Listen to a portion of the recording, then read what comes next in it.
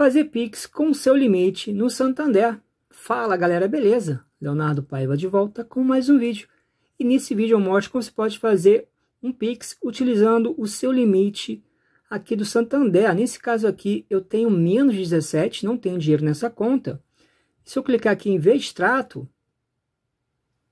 você vai ver aqui o seu limite disponível. Então, meu limite aqui, galera, disponível que eu posso fazer Pix é um pouco mais de dois mil reais. Então, mesmo não tendo saldo em conta, eu posso fazer um Pix com esse limite. Gosta de vídeos desse tipo? Aqui no canal já tem outros vídeos relacionados.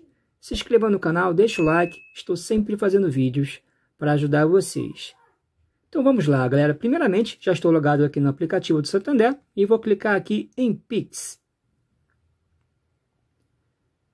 Em Pix você vai escolher aqui qual é a chave Pix da pessoa, celular, CPF, CNPJ, e-mail ou chave aleatória. Então, vou colocar aqui a chave da pessoa.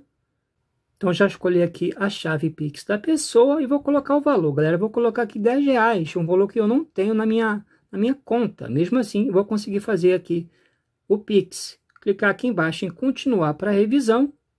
Depois, galera, é só confirmar se estiver tudo certo, clicando aqui embaixo em enviar agora. E pronto, galera, Pix realizado. Você pode salvar ou compartilhar esse comprovante Pix. Se eu botar aqui para minha conta, vai aparecer aqui o saldo negativo que aumentou de 17 para menos 27. Conseguiu? Coloque aí embaixo nos comentários. Se inscreva no canal para mais vídeos tutoriais. Eu vou ficando por aqui. Grande abraço, fique com Deus. Valeu, galera!